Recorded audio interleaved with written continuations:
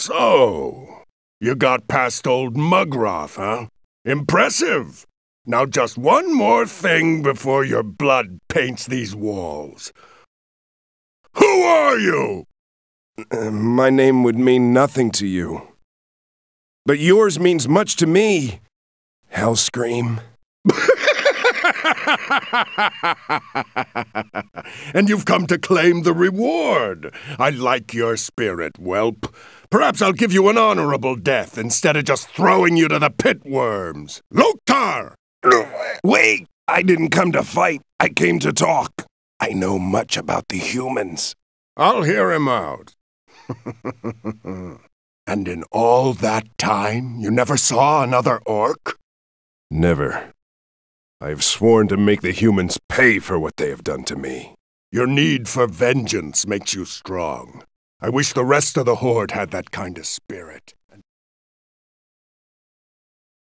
Loathe the weakness and apathy that has infected the clan since the war. I have seen this too. It grieves me deeply. I will allow it no longer. The Horde will be a force of war once again, or I will die making it so. I'd like to help you if I can. Then you shall, young brother.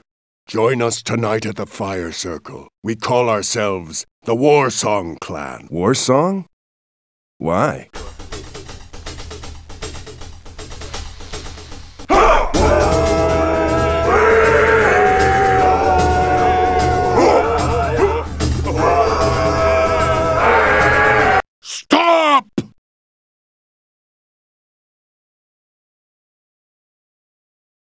You!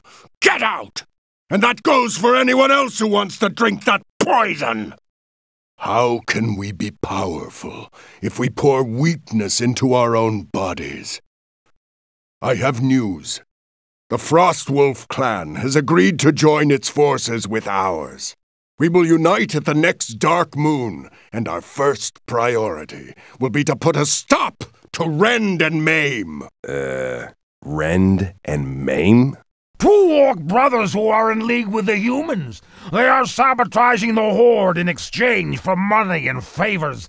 We need to learn more about their methods than crush them. So tonight, we raise our clan banners together! Warsong and Frostwolf!